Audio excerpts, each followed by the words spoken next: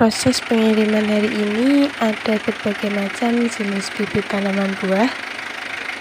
Di antaranya ada bibit alpukat alligator tinggi sekitar 70-80 cm. Ada juga bibit alpukat juga tinggi sekitar 70 cm juga. Dan masih banyak lagi jenis bibit tanaman buah lainnya. Terima kasih kami ucapkan kepada yang sudah order. Untuk pesanan akan segera kami kirim hari ini juga.